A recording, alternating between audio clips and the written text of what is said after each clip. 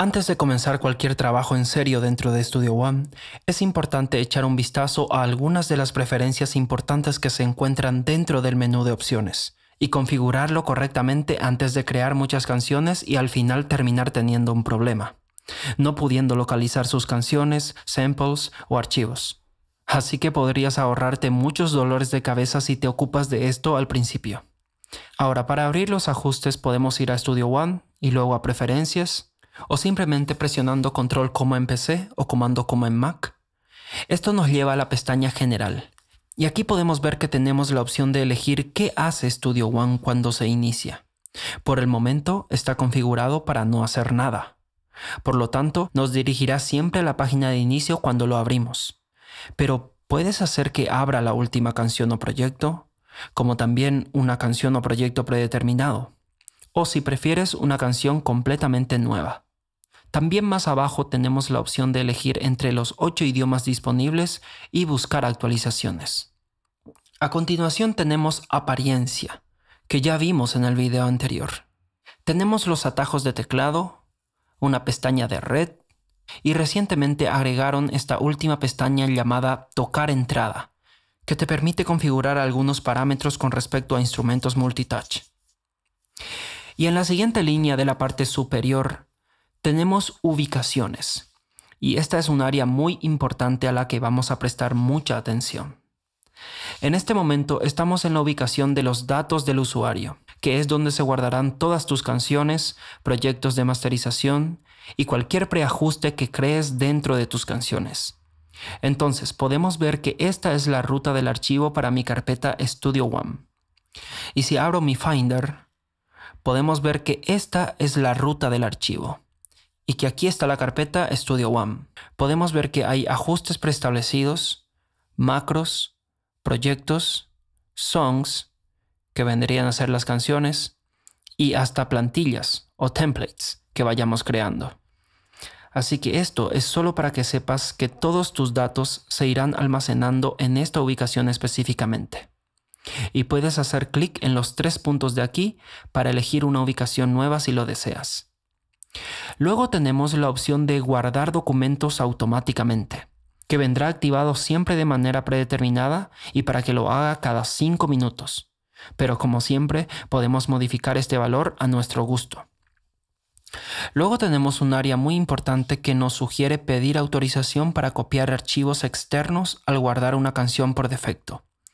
Esto no vendrá preactivado, pero si estás trabajando en canciones y deseas los samples de terceros o los audios que se grabaron fuera de la canción, asegúrate de marcar esta casilla para que cuando guardes tu canción y antes de cerrar Studio One, se te preguntará si deseas hacer una copia adicional de todos esos samples y agregarlos a la carpeta de songs o canciones.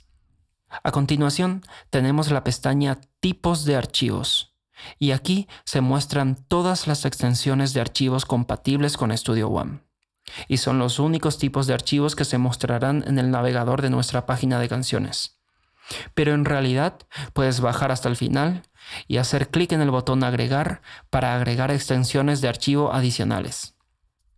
Luego tenemos la pestaña de sets de sonido, que son básicamente las librerías o bancos de sonido que descargaste con tu cuenta de Presonus y querrás tomar nota de esta ubicación de aquí porque aquí es donde se instalará todo. Como ya lo notarás, siempre podemos hacer clic en los tres puntos suspensivos de aquí y cambiarlo a una nueva ubicación. O también podemos tener nuestros archivos de sonido almacenado en varias ubicaciones. Podemos ver que yo tengo cuatro en total. Y si miramos más abajo, tenemos un botón donde podemos hacer clic para agregar ubicaciones adicionales o podemos hacer clic en eliminar después de resaltar la ubicación que queremos eliminar. A continuación tenemos librería de instrumentos. Y aquí es donde van nuestros bancos de soundsets de terceros, que podrías tener si utilizas formatos de biblioteca multiplataforma como Giga, EXX o archivos de sonido en formato SoundFound. Y estos archivos compatibles estarán disponibles para su uso con el Prison XT, y se mostrarán dentro de su menú desplegable de preajustes. Y finalmente tenemos nuestros plugins BST.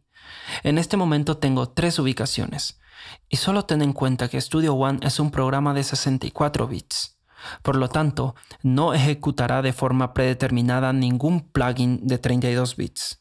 Pero puedes obtener una aplicación de terceros como el JBridge o el 32 Lives que los hará compatibles para que funcionen con Studio One. Pero siempre ten en cuenta nuevamente que se trata de un tercero y que potencialmente puede encontrarse con algunos problemas de inestabilidad.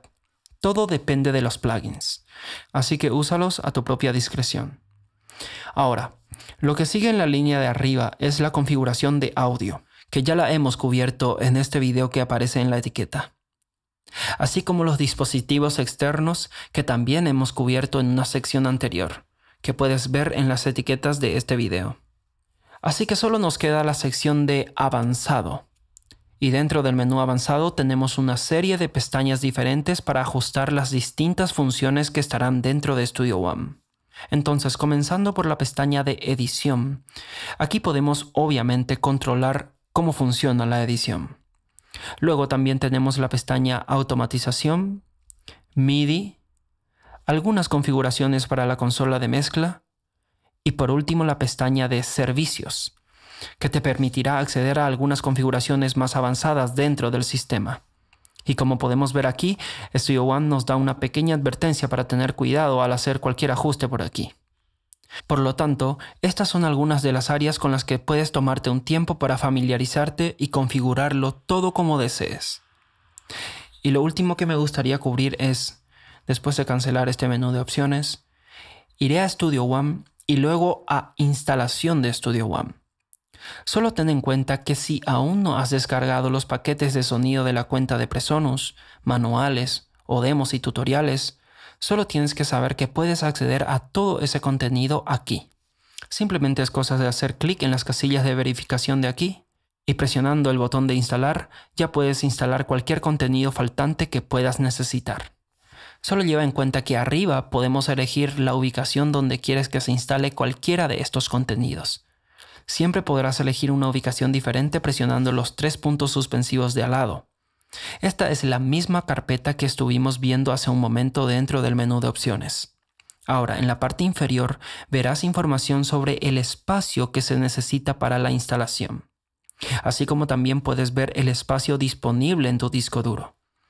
Y también más abajo tenemos un buscador de las descargas disponibles que sería una especie de inspección en la que podemos hacer clic aquí y esperar a obtener todo el contenido que nos podemos estar perdiendo.